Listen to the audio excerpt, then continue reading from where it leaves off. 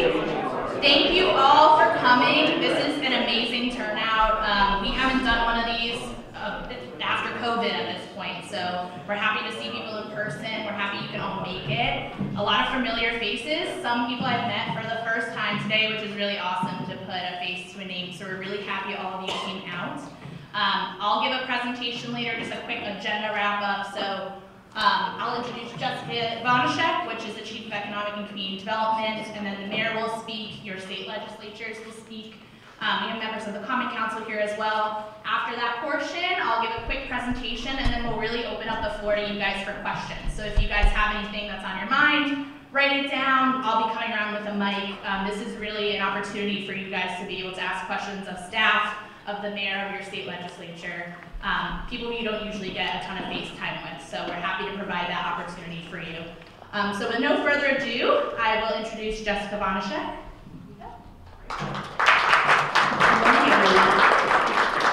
morning. I know you've heard this too many times, but thank goodness we are in person, right? I mean, how many times have we Zoomed? And uh, but it's so great to see everybody.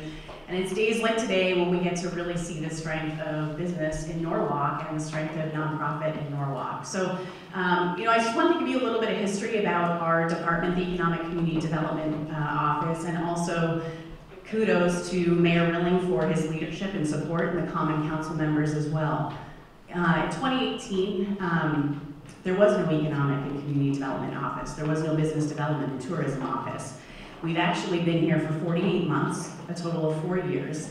And in that time, we've seen the difference that these efforts can make.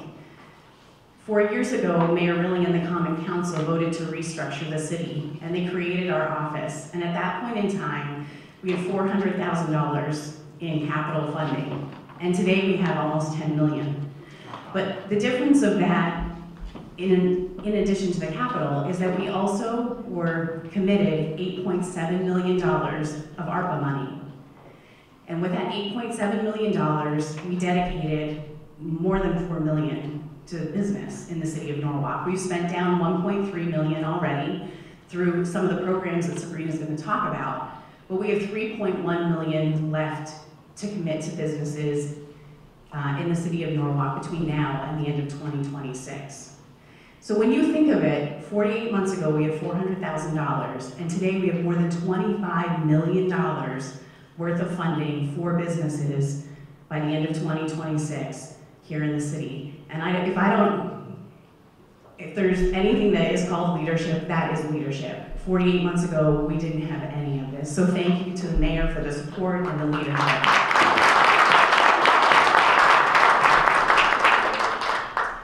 So in our positions, it's always a lot of fun because we get to develop a whole bunch of programs and a whole bunch of policies and try to be responsive to the community in a meaningful way.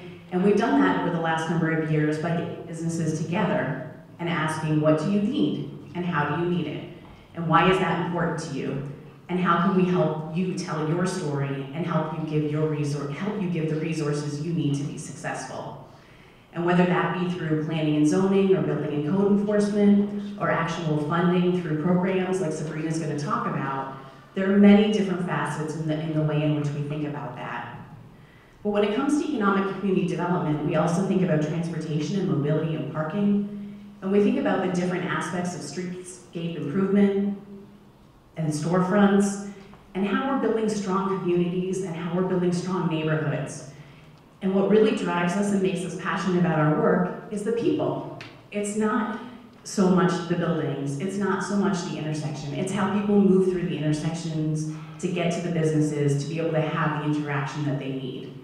And so without all of you, you know, we wouldn't be able to be successful. And without the leadership of the mayor and the common council, we wouldn't be able to be successful. So, you know, it really is my pleasure to be able to present those numbers to you and let you know that Norwalk is open for business and we're stronger than we've ever been when it comes to economic and community development. Thank you everyone, enjoy your morning.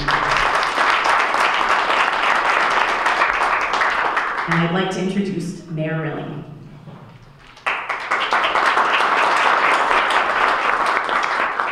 Thank you, Justin. Welcome, everybody. It's really great to see such a packed house.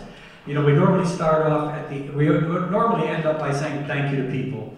But I want to start off by thanking the people in the beginning. But I also want to acknowledge some of the people that we have here, our elected officials. We have our council president, Greg Burnett. We have Nora Najolski-Eichler, a council person.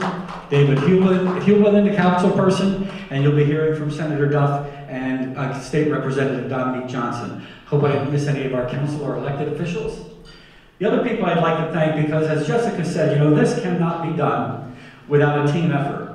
And she thanked me, but really the team that works for me, the team that we've assembled, makes all this happen. They put this together. They put the programs together, and we just work together to make sure that our, our business community, our nonprofits are supported in any way that we possibly can. So I have a list so I don't miss anybody. Uh, we have Jessica Vanecek, you just heard from, our Chief of Economic and Community Development, Sabrina Galdeski, our Director of Business Development and Tourism, Steve Kleppin, our Planning and Zoning Director, Jim Travers, our Director of Transportation, Mobility and Parking, he's back there, and Pedro Mata, our Capital Asset Manager, who you will find at our Business Development Center. Now, the Business Development Center was just recently uh, opened so that it can be a resource for people in the city of Norwalk, the business owners, nonprofits, whether you want to start a business, you want to expand your business, or you may be having some problems and looking for certain resources. And as you heard from Jessica, the money and the funds that we've allocated to help our local business community, I think is a deep, shows a deep commitment to making sure that Norwalk is economically sound, that we can help you in any way we can. So we're here today to tell you what the resources are that are available, we're here today to uh, answer your questions and hear your concerns. What things are you experiencing that uh, you may need us to work on, work with you, so we can help you in any way that we possibly can. So again, I want to thank you for being here, and it's now my pleasure to introduce uh, Senator Bob Duff for some comments.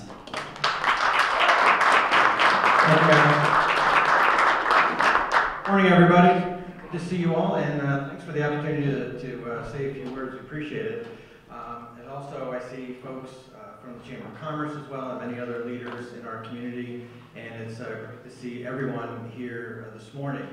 Uh, I, I, would like to echo, first of all, Mayor Rilling's comments on the fact that uh, he has put together really a truly outstanding team at City Hall, and thanks to him and the folks on the uh, members of the Norwalk Common Council. That's all really very, very important because it helps me and it helps Representative Johnson do our jobs better knowing that uh, he has assembled a team that we can rely on, that we can work with, and that job done. And that's all, all those things are very important. And that helps in the fact that uh, Norwalk, um, actually a lot of people are very jealous of Norwalk right now uh, around the state. And I say that in a very positive and good way, um, because Norwalk is considered uh, one of the two fastest growing cities in the entire state of Connecticut. And I, I view that as a positive uh, for, our, for our city, and I view that as a positive for our state. Um, Connecticut right now is in a very strong position. Um, we are in a very solid and strong position here in our state, and I'll tell you why. Uh, one is that uh, we are, as many of you know, we're experiencing very strong uh, budget surpluses right now after many years of uh, deficits and rebuilding and, and building the foundation and putting ourselves in this position after many very difficult decisions. Economically, we are uh, very strong. Uh, we have surpluses, we have a full rainy day fund. Uh, we just passed a bill to uh, continue with the fiscal guardrails uh, that we have that has put us in this position with our volatility cap, with our bond cap, and ensuring that our revenue cap uh, we have locked in where it is right now. So some of that stuff may be gobbledygook to you, um, but that has been very important to our states in the way that we've been able to pay down our pensions, the way that we've been able to increase our ratings at Wall Street, uh, and the fact that we've been able to uh, pass $600 million of tax cuts last year, and on top of that, still being able to bring $300 million of funding to the city of Norwalk over the last two years. And that's important because a lot of that money, besides going to the, the city operating funds and going to the Board of Ed uh, for school construction and their operating funds, a lot of the money uh, went towards uh, infrastructure improvements. And thanks to the great staff here at City Hall who've been able to identify great projects and working with Mayor Rilling and others, uh, we've been able to deliver those funds uh, to the city of Norwalk. Norwalk is, is really poised to jump off to even higher greatness and more greatness over the next five to 10 years, I think, uh, because of the great staff and because of the funding and because of uh, the vision that's out there to make sure that Norwalk continues to grow in a responsible way. It grows so that uh, we are protecting some of our outlying neighborhoods, but we're also investing and reinvesting in our city, in our urban areas, in our urban core, and that we're also working with, in, uh, working to, uh, with infill as well for the highest and best use for our, and bringing in additional tax dollars. Uh, so I think working together from the state and the city perspective is extremely important. So I was very happy to be asked to just say a few words um, as well. And so for me anyway, uh, I look forward to, to continuing what we're doing. There's, there's so many great things that can continue, whether it's on Wall Street, whether it's in SoNo, uh, whether it's in East Norwalk and other places. Um, Norwalk has no limits right now. Uh, the sky is the limit for us. Uh, we'll continue to make great investments. We'll continue to attract great people. Um, and we'll continue to make sure that uh, we're working hard uh, to make Norwalk the best city that it possibly can be. Thank you very much.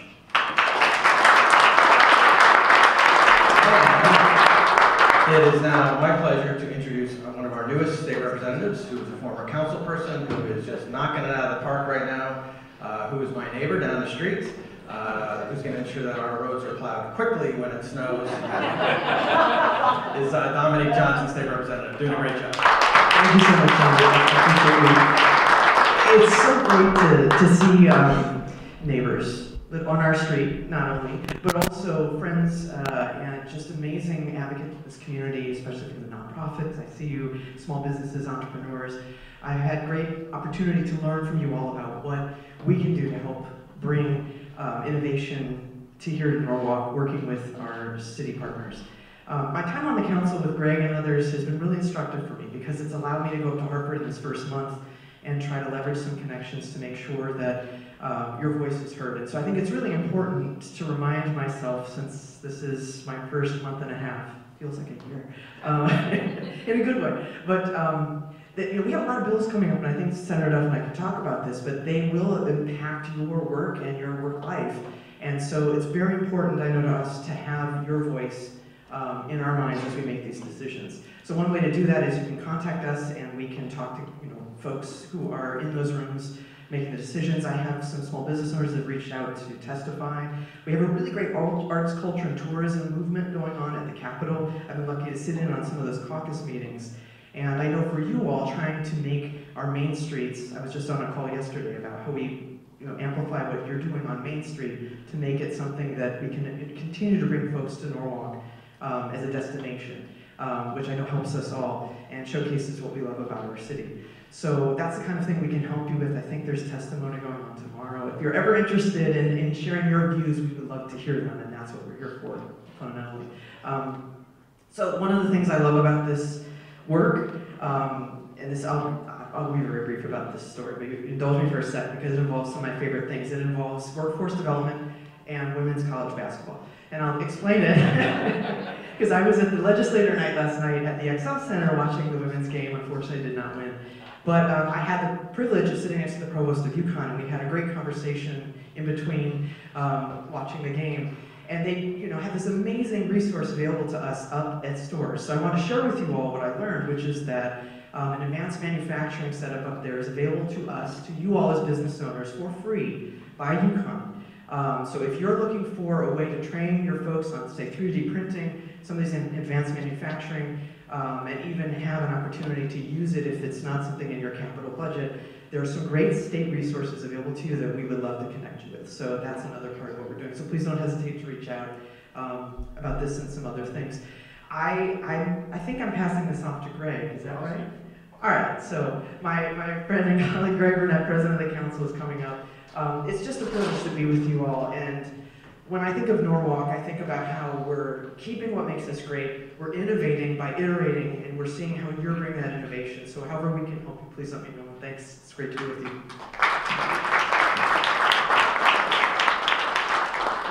Good morning. On behalf of the Norwalk Common Council, greetings, and we're elated to see so many people here today to support Norwalk, and we're here to support you. Um, Our mission, our goal for the Common Council is not to provide good governance, but to provide great governance. We want to get out of the way and allow you the avenue to have a successful business. Our focus is to provide a balanced budget each and every year, which does not tax Norwalk citizens, residents out of Norwalk. And at the same time, provide all of the services that are needed for them to live comfortably here in Norwalk, enjoy Norwalk, and most importantly, spend money and have money to spend in your businesses. So that's what we're all about. That's what we're focused on. That's our goal. So um, we're positioned to do that, and we enjoy doing it. We have two council members that were mentioned earlier, Laura and Dave, uh, that are actively involved in that process. We're closing in on our budget process as we speak. Uh, so good things ahead for Norwalk. We're building the infrastructure in terms of our schools. Uh, what, one, two, three new schools on the horizon. So nothing but positive to say about Norwalk. And we're trying to get that message out. And I think having this room packed is a testimony to the good work that we're doing. And we welcome your input. And, and just to mention, this coming Saturday, to further enhance our relationship with our state delegation, we're holding, I believe, one of the first retreats between the Common Council and the state delegation. So we're all on the same page in terms of moving forward for Norwalk. So we're trying to work collaboratively and ensure that all of the boxes are checked, double checked, triple checked, to make sure we're providing the best possible environment for our residents. So welcome again. Hope you have a great meeting, and we're here to address any questions that you might have throughout the morning. Thank you. Thank you, thank you, everybody, again, I'm gonna say it probably eighteen times today, but that's, uh, just how I am. Um, so how do you get this money that, that Jess and the mayor and the state delegation have mentioned that is available to you? So I'm gonna talk about it really quickly. Um, we have a new website called norwalkforbusiness.org. It has all of this information on there. Um, but you all received folders today that have our pamphlets, my card in there. So if you have any questions or if you want to apply and be more specific about your questions on a one-on-one basis, we're always available to you. Um, so let's just jump right in. I'm gonna go over kind of what we've done in the past, what we're currently doing, and what kind of the future brings for us right now. So this is kind of the breadth of the programs that we have available, which all really fall under this Small Business and Main Streets program that we have in the city of Norwalk. This program was kicked off um, in October of 2019, and obviously we know what happened very shortly after October of 2019. Um, we didn't have a lot of funding at the moment in time when COVID hit, but obviously, as you all know as business owners, we needed significant capital to make sure you guys could make it and, and weather the storm, really. Um, so through the Common Council and the Mayor's Office, we were able to get a special appropriation, which launched the storefront improvement program as well as the first round of COVID grants. Um, so we'll talk a little bit about how much we spent at this point, um, when rest the rest of that money will get out the door, and what we're thinking about in the future. We have a few new programs that we'll mention as well. The Kiva program, which some of you are familiar with, some of you are not. Um, the Norwalk Innovation Initiative that we'll be launching hopefully this spring. Um, and Visit Norwalk, which I hope all of you are familiar with at this point, but is a tremendous resource for all of the businesses in Norwalk. Oh, it's, it's going by itself. Um, so this is some of the things we did in the community now. We had, you know, the Christmas lights, the holiday installations that I'm sure you've seen throughout neighborhoods. We have new trash cans. We did the barriers when COVID was um, presented to us. We kind of responded to that challenge in a unique way, as many other municipalities did. Um, and then you'll see kind of random storefronts here, which we'll, we'll get into um, for the storefront improvement program that we have available. Um, so previously when this program launched during, right before COVID, um, it was a 50-50 match. So you pay $100, we'll pay $100. We've since changed that to an 80-20 match. Um, so, you know, that's way less money out of your pocket, and this is grant money. So this is not a loan, this is free money, um, and it's up to 80% of $20,000, which is, you know, $17,000, which is available for you all to participate in we ask that you follow the city procurement process. There's an application available online at our Norwalk for Business website. Pedro or myself will be able to help you with that application if you so need. Um, but we give you the opportunity to work with contractors that you're comfortable with. Um, so if you are a landlord, you could apply, um, but if you're a business owner directly, you can also apply. So this can be a benefit directly to you or something that you can work with your landlord with. Um, and these are just a few examples of kind of the transformations that we've seen thus far. Um, at this point in time, we have over 15 properties that have applied and accepted funds from us. Um, so we're really excited to keep this program expanding in the future. So you'll just see some side-by-sides um, of kind of what we've transformed on the street level. As many of you are aware, as you've probably seen all of my emails over the past couple of weeks, we had the COVID-19 Business Assistance Grants. Again, we launched this in 2020 with a special appropriation, um, but we've been funding this through the Small Business and Main Streets capital account since then, and now since we have the ARPA dollars available, we have been funding this even more heavily. So we have another $375,000 that's going to go out the door by March, and this will be the last phase of this program. Um, so we have three pro three phases of this program up until this point, um, and a lot of feedback that we've gotten to this point is that this program has really, you know, even though the money doesn't seem like a lot of money, it's really transformational for some folks and keep their doors open and keep their employees hired, which is really great. So we've already invested over $885,000 to this point. Um, we have spent a total of 430,000 and assisted 69 businesses, and we have another 50 that we're going to probably fund in this March phase, and we'll have additional as well because um, the way the program is set up, there's if you've already received money from us and you have more employees, we can give you some additional funds, so there'll be a little bit of a difference between that. We'll be able to actually spread the wealth a little bit more to more of our businesses. Um, and you can see there's a ton of different businesses that are being helped, so it's not just restaurants, it's not just um, it's not just kind of Main Street businesses. Some of the kind of at-home businesses got funded, um, some tutoring, some business um, services got funded as well. So we're really proud that it kind of hit the breadth of our businesses. It wasn't just a specific street or a specific location.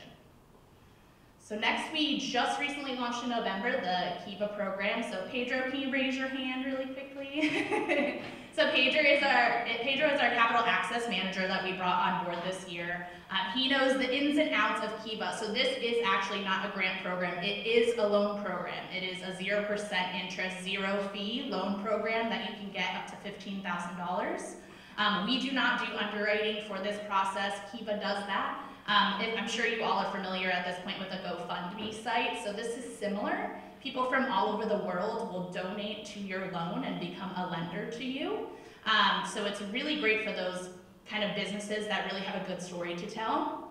Um, and then when the funds are finally raised, the loan gets loaned to your business and you pay it back. And the really great part of this is it's really for people and businesses who are just getting started, who can't really get a traditional loan from a bank. Um, and it helps build your business credit, which obviously, as many of the bankers in the room know, is a really important factor of getting kind of larger influxes of cash from a traditional lender. Um, so we're really excited about the program. This is not a one and done. You can apply to the program, you can get your loan, you can pay back your loan and apply again. Um, so it's really meant to help your growth along the way without taking a lot of capital from a traditional lending institution. And again, Pedro's your guy. He's at the Business Development Center every day, um, and he can walk you through the process, the application, all that fun stuff. So this is kind of who we've helped so far. We have some additional folks to add to this slide. Um, but we've helped a lot of women, which is really amazing. Just by chance, this happened to, to occur. Um, women and minority-owned businesses is a big focus for us, but this program specifically is really assisting those business owners, so we're really proud of that, and we're happy to see that trend moving forward. Um, and it's really taking people to a different level in their business careers and their entrepreneurship journey. Um, so we're happy to be a part of it as a partner, and we're happy to offer this program. So lastly is this newer program that we will be launching in spring. So we did do a pilot of this program in partnership with the Chamber um, last year where we've received a couple applicants for $5,000 grants through their Small Business Development Academy, but we're kind of flipping the switch on this program a little bit. So as I'm sure as business owners, you know what's available to you or have some sort of inkling of what's available to you. So you have institutions like SCORE, you have institutions like the, Black, the Black Business Alliance, you have the Norwalk Business Development Center, you have the chamber, you have a breadth of resources available for you from an educational standpoint.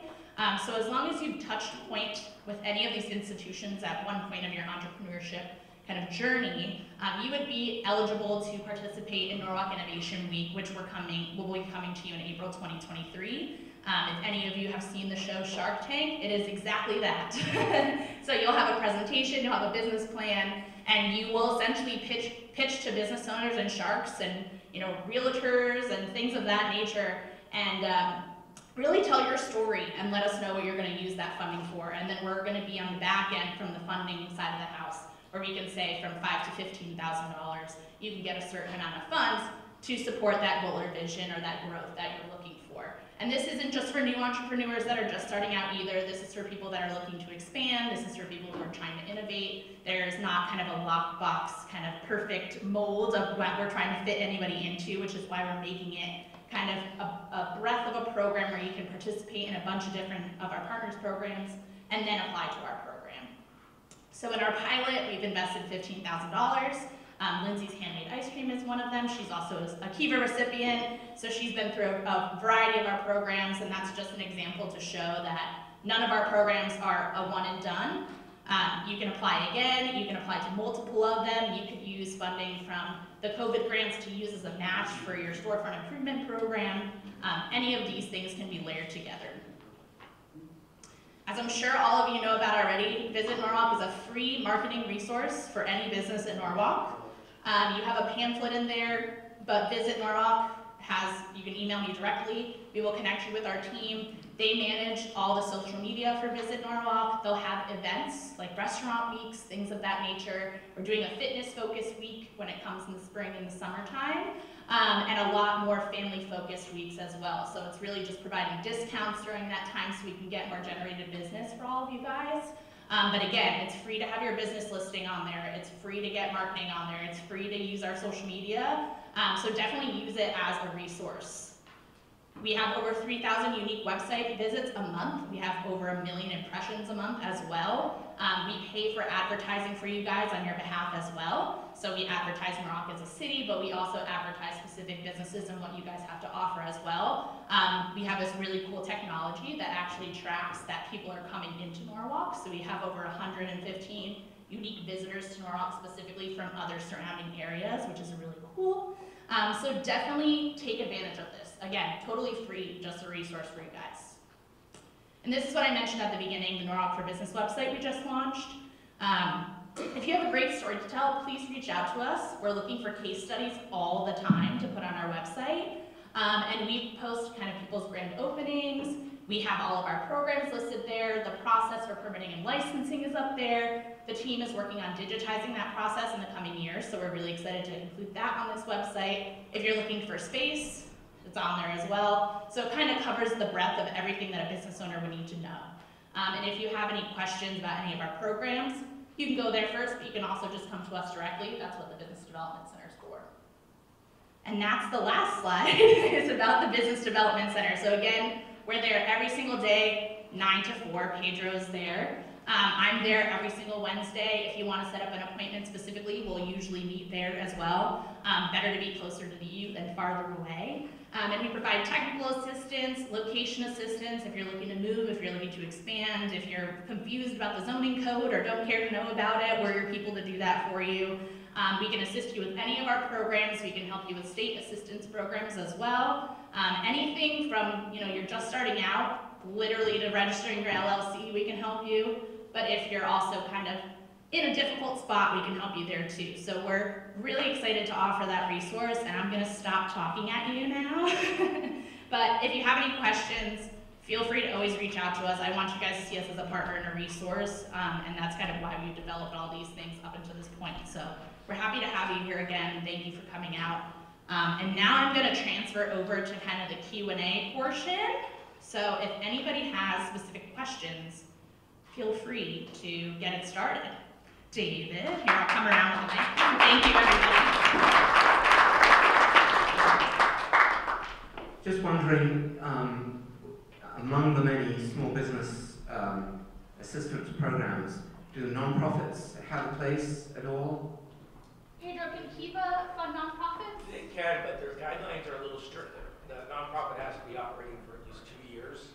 Um, I have not done a nonprofit with them yet, but we can definitely investigate it. So they do say yes, but it's not, it's, it's, it's more restrictive than a traditional small business. So that's the only. The storefront improvement program would be effective as well. So that's not just for for-profit enterprises. So if you have a physical location that's any type of street-facing location, that would apply. Um, we can use it to pay for benches, seating planters, signage, windows, painting, kind of a breadth of street-facing things that happen on the storefront, and that can be a not-for-profit, a for-profit, or any of those different types of things. Anybody else? I have some prompting questions, if anybody's interested in me doing that. Go ahead. Is there any update on the No Norwalk corridor, uh, the Wall Street corridor improvements? Jim, you wanna take the, take the baton on that one? Uh, so sure. Uh, so uh, for those that, that I didn't see the introduction before, my name is Jim Travers. I'm the director of transportation, mobility, and parking. Um, so uh, we're still full force moving ahead uh, with that. So we have a couple of different phases. So um, phase one, we are in the, the final design, uh, and that is up at ConnDOT waiting for their final review. That will be for the part of East Wall Street from Brook Street to Main Street uh, which will start it off. That'll go into construction this year, um, uh, assuming that we get the, the grant back by, the thing. But our, every, our, all of our, our, our conversations indicate that uh, we'll be in, in there this year. Uh, what we have for the, the main part of the corridor, which is Wall Street between Main and Belden, the reconfiguration of that intersection uh, where we have Belden down to um, Burnell uh, and River Street and, and that section of Main, uh, that is at uh, about 30% uh, design right now. That's what we introduced. We're fine tuning uh, those. Our intent is that we will be in front of the community again in April uh, for another design charrette to kind of go through that, that process. And I think at that point in time, we'll have a little bit more answers uh, where we are there. But additionally, we are coming to about uh, we're about 60% in the final design, construction design for uh, the, the facade improvements to the Yankee Doodle Garage. Uh, so that we anticipate will be ready uh, for bid by June. Uh, so we anticipate that that will start uh, construction uh, this year as well. So we think a couple of different aspects. We're, we're, we're moving and shaking for Wall Street. Thank you. Okay. Anybody else? I'll go on my questions if you want to ask a question. Yeah, go ahead. Hi, it's Rafael Gomez um, from Pulse X Fitness here in Norwalk. Um, I think my question is, um, now that I'm doing digital content, I closed my gym to do digital content, and my main focus is to help people, and I want to get into the school system. And I'm able to do one school at a time. That's not it's not um, it's not digital, but digitally I can do all the schools at the exact same time. So teachers, students, whichever, you know, the vision, my vision is to do like 10 minute classes for students. Like a 10 minute boot camp every other day, all the schools in Norwalk at the same time. And then work my way up to the teachers and offering them something and trying to get my fitness, getting everybody healthy and focusing on everyone. So I closed down my physical location just to focus on digital to pull that off. And with the goal of doing the schools and also doing the digital content um, streaming from different locations. So if anyone has a company and they wanna, I can stream my classes from them and you guys can get people to come in, well, we can work on something like that too. So I can live stream from Stepping Stones as an example. And people can go in person, work out, and I can also do it online. So my main thing is trying to get into the school system. It hasn't been easy. So that's what I want to work on, figure that out. Yeah, so I think that's a great question. So we get that request honestly a lot more than you would think. There's a lot of businesses that want to integrate more with, you know, Norwalk's youth, which is really amazing that our business community really wants to give back in other ways and forms. Um, I've, you know, only worked in Norwalk and lived in Norwalk, but I also lived in Los Angeles, and that's not the same story for a lot of business owners and kind of a larger, more disconnected community. Um, so we can definitely get you connected with the Board of Ed. Um, there's a direct contact that we have that we can get you in touch with, so we can see if there's a potential partnership there for sure. And that's that's a perfect. Thank you for doing that because it's a perfect example of why we're here. So if there's anything like that that you need to contact, we want to be your conduit. So if you have any questions that you want to forward to Bob Duff, Dominique, Greg, any of that, you can obviously contact them directly, but we're also your conduit to be able to do that as well, so that's great. Anybody else? I'll run over. Hi, Kim Moore, question Maker Real Estate Partners. Uh, question is, uh, the Walk Bridge project's going to start this year, later this year. Um, does the city have an action plan for the economic development and the impact the bridge will have, particularly, of course, on South Norwalk? Yeah, so we've actually been working really closely with the state's team um, and DOT to be able to make sure that the mitigation measures are in place. There's obviously going to be an impact, um, but we're doing the best we can, not only to have direct contact, so it's not just an email list, it's really reaching out directly to see what people need, what routes are best, um, to kind of close down roads, those types of things. It's obviously a very necessary project, um, so we have to do it, but we have to figure out a way where we can all coexist together. Um, this is also kind of the impetus of why we started to do all this visit for Norwalk, visit Norwalk stuff and Norwalk for business so that we can get in touch with a lot more of you so that when things like this happen, um, we have more of a direct contact link to all of you. So we've been working with their team not only for more placemaking, so it's not just looking like a construction zone when it's happening. Um, so we're working with them with that. Our transportation parking mobility team is working with them directly. Jess is always on calls with state DOT and the state legislature is definitely um, there. That's a major concern for them, but also for us. So we're definitely looking at it as a team effort um, to be able to provide programs that may assist you guys during that portion of time, but also to utilize existing resources to make sure that we still are drawing people to the area that might not, may be deterred because something like that is happening. So we're here just to help you on that front as well.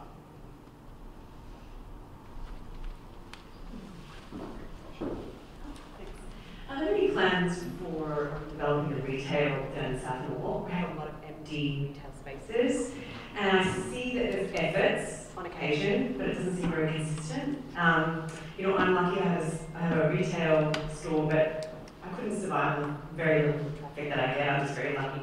I'm working with the Spinnaker group, and they're very helpful. Um, I have a wholesale business that supports everything. But just to bring foot traffic, you know, during the days, uh, the weekends, um, these, these empty retail places really don't give a great vibe for Washington Street. Yeah. So I don't know if there's anything. And that's specifically retail, not. It's speci- I mean, retail brings a lot of culture. Oh, for to sure, for sure. Good, bad, that's- Yeah. Yeah. There's plenty of restaurants, but There's, there are plenty of restaurants and we love all of Yeah. them, but it's nice to have the mix. I totally get what you're Sure, and the people that come in will say, oh, there's nothing to do. It's Yeah. open and there's retail space, you know, so there's no places to walk and walk in and out and. Oh, of course, of course. So that was kind of why we invented the storefront improvement program is hopefully to get people in spaces a little bit quicker. It's, it's, it's their landlord. But it's, yeah, so we talk often with their landlord. Um, they do show the spaces probably about once a month.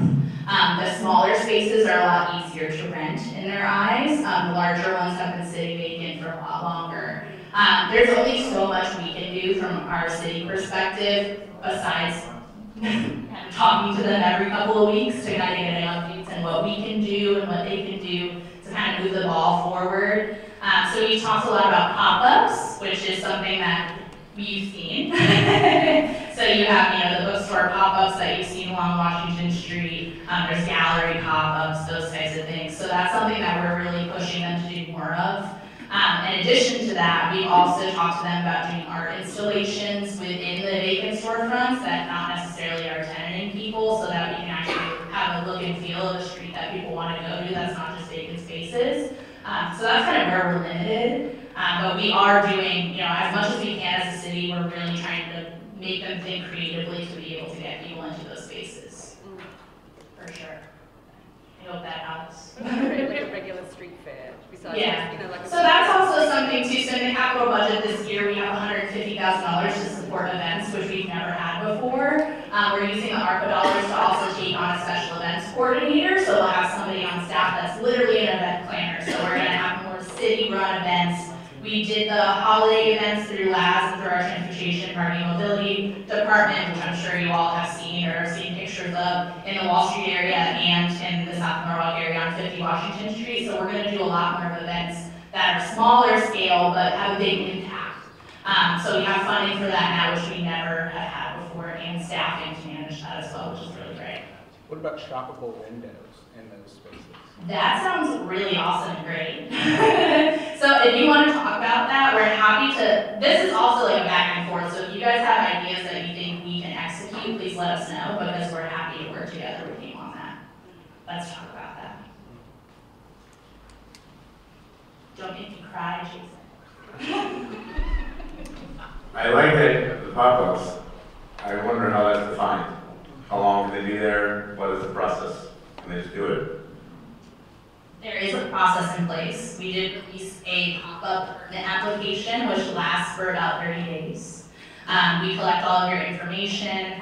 Steve, you could probably talk to a little bit more than me about the pop-up permits that we have available. Um, but it's a 30-day permit. They fill out the one sheet. Planning and zoning is aware. The biggest piece of that is really the fire marshal to come inspect for safety, um, and that's really the breadth of it.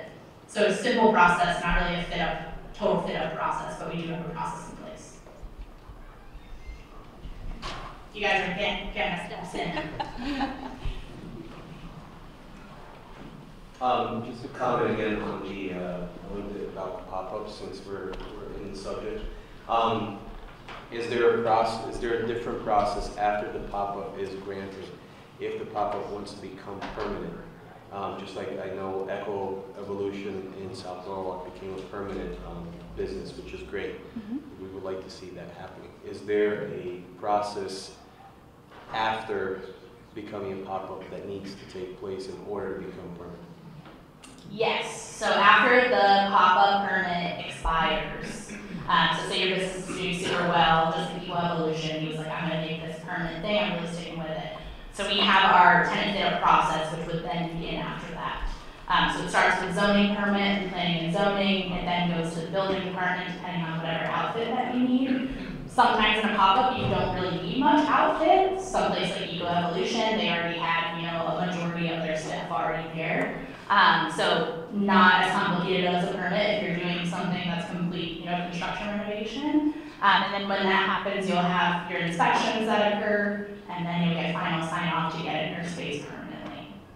And we can help you walk through that as well, so we have resources for that. Anybody else? What about rent subsidies for the retail spaces? So we have actually spoken about that a few times. The redevelopment agency had offered a program in that breath, um, probably about 2017, possibly 2016. Um, what they found is that not a lot of people applied to it. Um, it may be a combination of things, though. It could be because it was not advertised, people didn't meet the criteria, those types of things. So we're obviously looking at those certain programs all the time. Um, we want to have some support for our businesses to where they can get in the door, they can get their fit out done, they can get that initial support so that they can kind of get the ball rolling. So we've been looking at that, but we've also been looking at like changing our storefront improvement program so that it can include internal outfit as well, because that's, you know, a huge expense not only for a landlord, but usually right out the tenant.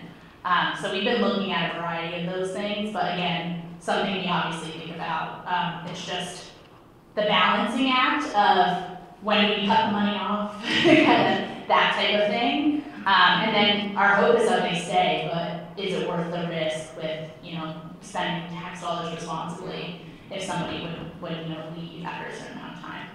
Yeah, it's just about bringing foot traffic down to the. Oh, for sure. And I think the event piece of it is also gonna help a ton. More regularly programmed events that we can, you know, bring people down there more often and all the time. I think specifically too, what she's talking about is daytime traffic, you know, so if we're Yeah. doing events, you know. Yeah, so I think that's the impetus of this too. It's not just like nighttime stuff, but every time. The restaurants bring the traffic. Oh, for sure, but also when, when I talk to South Morrow business owners, what's their best day of business? The SoNo Arts Festival. It's closed streets, it's daytime and nighttime activity, it's programmed events where you're bringing tons of people down. So that's, I think, what we're focusing on. Can artists set up in the street for free, like they do in New York and West Broadway? So there is a permitting process that's in place, it's very short, but it's the same similar process as outdoor dining is for pop-up retail. Um, and we have an online process for that as well, but yes, that is available, we just have to make sure, you know, safety measures and com- having ADA access, all that fun stuff. So we do have to take a look at kind of what they wanted to do, um, but it is an opportunity.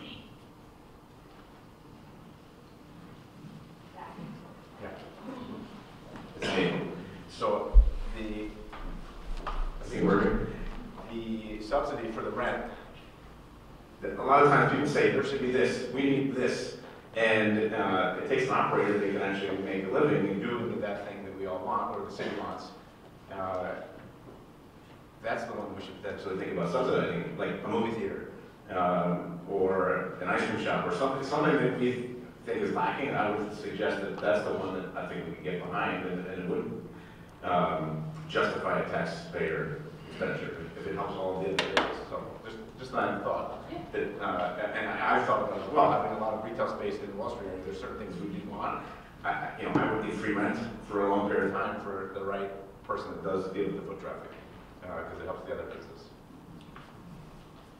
I think that's a great point, and that's something that we do too from a programmatic aspect. We can say, okay, we're gonna subsidize this industry, this type of business specifically. So I think it's definitely something we can consider, and it makes a great point. It works the same as kind of an anchor institution in a traditional retail mall. People come for the Nordstroms and the Bloomingdale's, so what's gonna bring people to downtown? What business is that? Um, so a great point. Anybody else? Is there a place to specifically see where the ARPA funds are being allocated?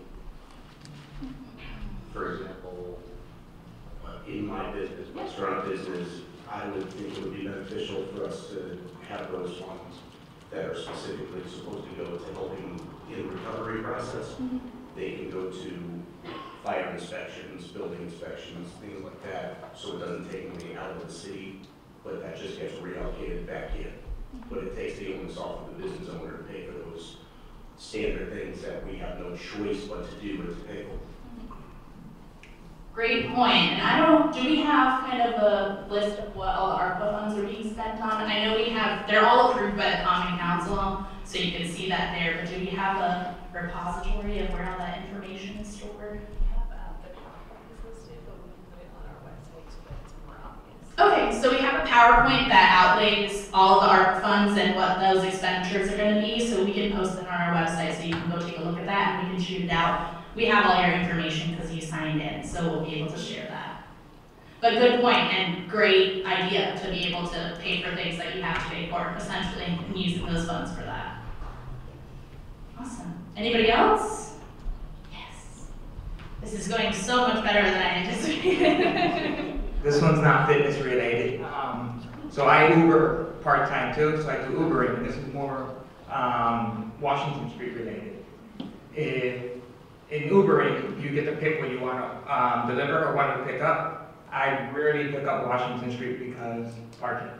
If there were like three or four parkings for just pickup, I think more people will order in, order out, and just to deliver. I think people don't pick up Washington Street because you're not in and out. You gotta go to the back, walk around, then go. If there were more four or five spots that were just five minutes, ten minute parking spots, I think it may pick up a little bit of pickup traffic for the restaurants on Washington Street. Thanks, that totally makes sense. Jim, do you want to say anything about that, or just note it? So, well, we, we can talk and, and note it. So, um, so I also oversee the parking authority. Uh, so we'll, we'll, we'll, we're actually having a meeting this evening and we'll, we'll look to, to, to add this to new, uh, to some new business. But we have been looking at, at managing the curb, right? And you're not necessarily Washington, uh, but, but also, right now, we have recently done, uh, new signage upgrade to, uh, Wall Street, some, some sign changes there. We're using that as a pilot. Uh, we're looking at how we introduce loading zones and how we could maybe manage, you know, that, that Uber, Lyft, uh, pickup, drop-off, uh, kind of locations, uh, do- and doing a little bit better job of it. So, uh, we are currently, uh, hiring, uh, an assistant director of parking. If anyone's interested, it's listed on our website, uh, www.norwalkct.org. Um, but, you know, I'd love for you to interview. Um, but, you know, like, I think it's a really interesting time to, to, to get that. We really want to be, you know, super responsive to those things, and there's a lot of opportunity. So, uh, it is noted, uh, but we are kind of looking at, at how we manage that on a global scale. Where are the signs on, the new signs? So there's a regulatory, so, so one of, one of the things that we had was, um, we had this two and, and three hour parking signs that everyone told us was really confusing because they were really confusing. Um, so, so we worked with the businesses to, to change the, the parking, uh, restrictions there to, to a max three hours. Uh, so there's really not too much of a difference. We're measuring that with the, with the results. So all of those new regulatory signs that have, have occurred on Wall Street, uh, between Belden and Main and on Main Street, uh, down, uh, to, to, um, to Cross. Um, so, Okay, yeah, we definitely need some signs down by Knight and High Street, because there aren't any. There aren't any signs. Common sense says you have to park. I wouldn't want to get into the parking publicly here, but we just need some signs and preferably one code. So if you park, for my business, I have to ask them exactly where they park, and there's three different codes, depending on if you park in the high. A zone, yeah. High Street lot, on the street, up the hill, down the, you know, down towards the theater. It's, it's very, it's just a pain, you know, when we're trying to get on board and say, hey, it's, it's a buck, like, you know, I'll take it off your bill. Then it's like, how do I get it? How do I do it? I can't even do it, you know, so. no So I sign- think, I didn't want to steal your meeting, I feel bad, but like, um, so I think we could actually have a meeting all about parking. That's why I wasn't gonna bring it up. No, no, else- but like, why don't we touch base afterwards and we'll go, we'll, we'll, we'll go through, through some of the things, Thank sorry. Awesome. Thank you for bringing it up. Anybody else? There's a guy. Bring cupcakes for us today? I didn't bring enough. I didn't think this was gonna be such a great turnout, but I'm happy to see everybody here this morning. I just wanted to compliment you and the city of Norwalk for the holiday, uh, celebration that you all did. Can I say Christmas? Yeah. Christmas. It was great. I had family from out of town and they were very impressed by what, uh, the activities were. I just want to know who was climbing down, who, who rappelled down the, it was Santa, wasn't it? Thank you. Thank you, because it was great. I don't know, I'm sure all of you were there. I was there, I brought my family from Florida, and they, they loved it. But thank you very much for the activities during the holiday. Thank you. We're glad that you, you know, out of school. We're hoping to do a lot that stuff for sure. Anybody else? Serena? I'm coming. Hi all. So, um, are there any landscaping businesses here today, by any chance? Okay. Um, just flagging, we have some interesting things going on in the ordinance committee related to landscaping businesses, but I'll talk to a different crew about that. Um, but I did have a question for all of you. You know, one of the many things that we've been talking about a lot on the Common Council is our desire to support Norwalk as a city that is green and clean. We've been thinking hard about um, livability, sustainability, but also wanting to support our businesses that are working in the green energy space, that are working in the sustainability space. Are there things that we can do for all of you to help you operate your businesses more sustainably, sustainably, to support you if you are um, in an industry or a business that's on the green side or the climate resilient side? We'd just love to hear thoughts if there's anyone in the room that wants to speak to that sort of particular goal of the cities. Anybody want to respond? If not, if you want to respond in an email, I can relay the information as well. You, or you can find me afterwards. Yes, exactly. Anybody else? I did receive some questions um, through my email from people who couldn't be here who wanted this recorded. Um, Steve, you are here, so I did receive a question about the new zoning code and how that affects a business that's in current operation, if it affects them at all. Uh, Good morning. So this is kind of a standard zoning answer. If we change the regulations at any point in time, if your business or property is operating legally, there's no impact on you. So that's kind of the, the short answer. Um, There will be pretty significant changes coming through with the new zoning regulations, which I hope will be out in public view hopefully next month. I'll try to find a better answer for that later today. But there'll be longer term impacts for the city, but if you have an existing business or property operating legally, you can continue to operate that no matter what we change on your property. So I- I think that answers the question. Awesome. Dominique, do you have any questions that you want to ask? Here you go. Yes, I'm, uh, I'm, I'm going to rush out the door like Senator Duff for a committee meeting. I'm so grateful to have to have the opportunity. So one of the things I've been doing on one of my committees, which is generally the workforce committee for the state, is uh, trying to advocate, like Nora said, for building pipelines, better pipelines, because we know we're in a lot of workforce crises. I know I've heard from folks working in healthcare and education um, that we just need to, re- you, you need to retain your employees and you need assistance in that. So that's something we're really looking at. Um, whether that's tuition reimi- uh, reimbursement or free tuition on the front end, uh, those are some policy ideas. But then there's also just the need to be better connected with our workforce strategy. So I've been lucky to talk with uh, Chief Valeris about the work we're going to do at the Clean Economy Council. And one of the things I've proposed is to put together a Green Jobs Corps, which fundamentally means that we can take our folks from vocational tech and other uh, programs, we have some here in Norwalk, and make sure that they have a pathway through.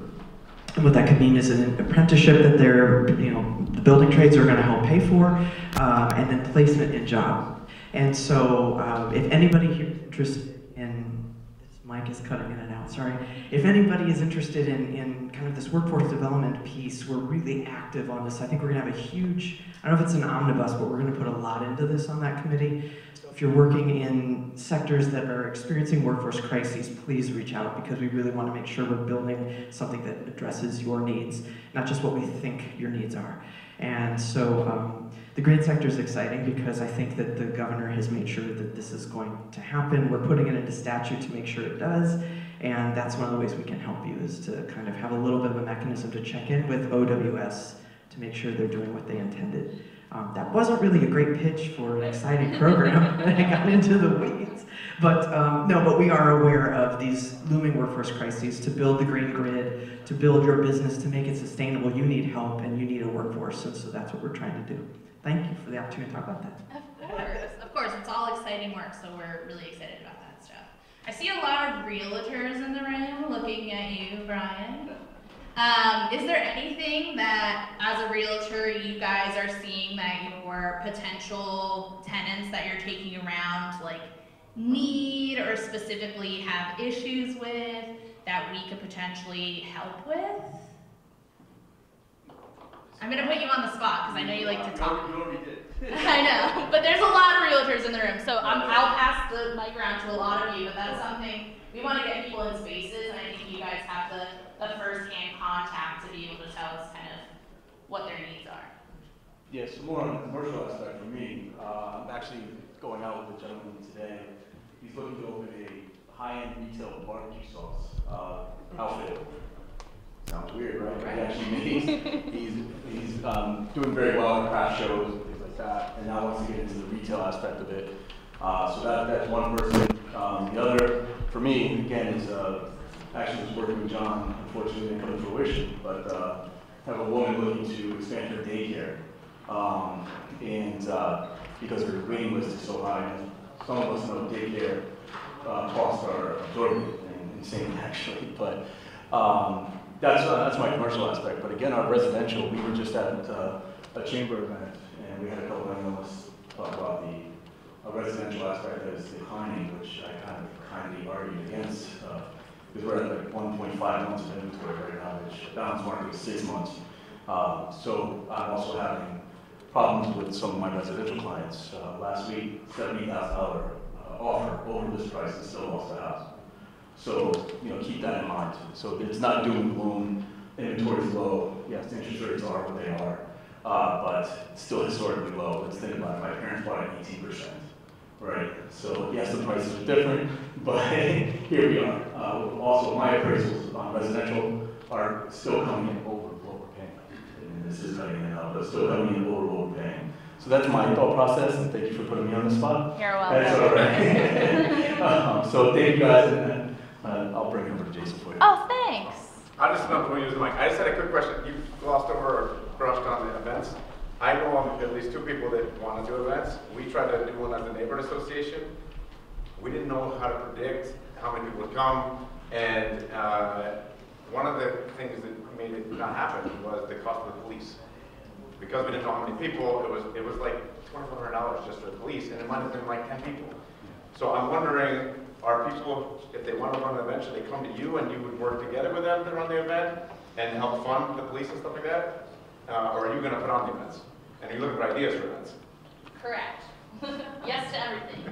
Um, so it's a little bit of a mix of all of those things. So through the Development and Tourism Office, we'll have a special events coordinator. That special events coordinator will not only be responsible for putting on city events and using city funding for different types of events, that they have the opportunity to kind of create new and fun, exciting things, um, but also assist others in throwing events in the city. Um, there is a formula for a lot of that stuff. Um, PD uses previous events that may be similar to what you have done to kind of guesstimate what they will provide for service. Um, so on the back end, we're not so sure about the funding aspect yet because we have obligations for certain events that we already have planned. Um, but we will have staff resources to walk through the process as well. It's a little bit of all that stuff. Yep. And if anybody has anybody that will be a really great special events coordinator, you can find that job posting on the um, So we're, we're looking for somebody for that position as well. Um, we've gotten a lot of interest, but if you know anybody who'd be a great fit, or if you would be a great fit, feel free to apply for that as well. So we're hoping to get them on board before the spring starts so that we can start planning some seasonal events. That would be really great.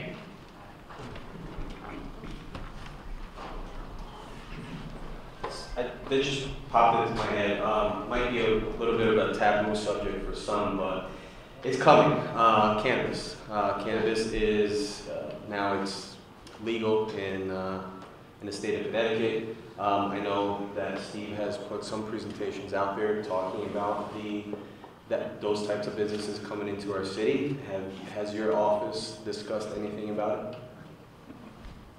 So my office has been interacting with cannabis businesses probably for two years at this point.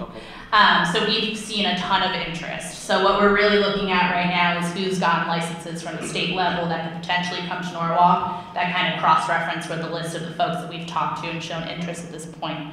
Um, so Steve's team has done a really great job at kind of looking through our zoning code and making sure that we're kind of implementing these businesses in a smart way, you know, not near schools, those types of things. And then the common council members have literally worked months and months and months on cannabis regulations for use in the city of Norwalk as well. So we've been obviously talking about this for years. it, the state had just caught up to us at this point in time. Um, with the licensing coming out, we only have about six companies that would even qualify, and in our ordinance, we're looking probably about three that would actually open as dispensaries in Norwalk. Um, but we've had a breadth of companies that aren't just dispensaries. So we've had micro cultivators, we've had delivery service, we've had um, manufacturing of, of edibles and lotions, creams, those types of stuff. Um, so it's interesting to see kind of this new market open up for us. Um, and we've seen tremendous outreach to my office as well as Steve directly as well. So we're looking at it. We, we've already put the regulations in place, so we're kind of at a point to kind of start accepting applications at this point in time. So.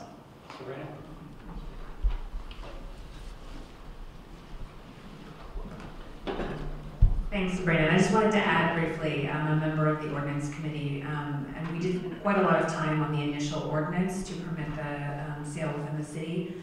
It is currently limited to three businesses, um, retail businesses. The ordinance did not necessarily address some of these other potential businesses that Sabrina discussed. I think it's a question that may get revisited um, by the council. Once the state licensing process moves farther along, we have a more realistic sense of kind of what we're looking at, what the limitations are, et cetera. Um, but this is a really open issue that council, I think, has been very explicit about the fact that we intend to have conversations about this. We intend to be responsive to what the community is seeing, how the businesses are operating, what the opportunities are.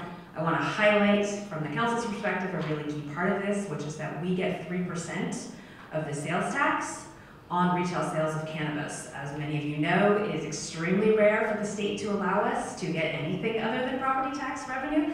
And so for us, it was uh, a really explicit decision that this revenue is important for the city, and we're very excited about that opportunity. Um, but we really welcome feedback, and we are looking forward to working with the business community and the residents to find a way to sort of manage this industry in the city as effectively as possible. Awesome, thank you for that. It's great to have council members here that work on this stuff. so I'm gonna, go ahead, we'll take one more question, and if anybody wants to raise their hands now, we'll kind of tally them off, but then we're gonna close. Well, the thing is, is there a Yes, so for cannabis retail establishments, so dispensaries, we're limiting it to three. The other businesses are not limited at this current point in time. I have one going next me and it's becoming kind of a little issues. Okay, yeah, a smoke shop, yeah, yeah, yeah. Mm-hmm. Like kind of things, it's like, we're trying to get Wall Street to have a look, and then it kind of like the police there, and always the underage and all that kind of brings another negative aspect that I don't think that's what looking for. Okay, thank you. Thanks for flagging that. So we'll take a look at that for sure. Here's that one too.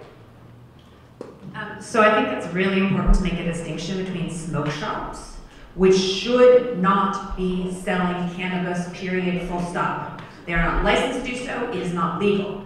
That is certainly something you can and should report to our police department. We are not permitting that, we are not encouraging that. No current business in the city of Norwalk can legally sell cannabis, full stop. So I want to be very clear on that. We will be permitting three licensed retail establishments. They will be opened in coordination with planning and zoning. So anyone selling cannabis in the city of Norwalk right now is not allowed to do so. Please report that, please seek enforcement of that. Do not think that that is something that we are allowed or tolerating. Um, and I really want to make that very clear. When the three licensed businesses open, you will know who they are, and you should be directing people to seek legal cannabis at a licensed business. Exactly, yeah. So just like you had to fill out kind of your permit process, they have to do so as well. And we have not opened up that process to the public yet. Um, so anybody who is doing that is doing so legally at this moment.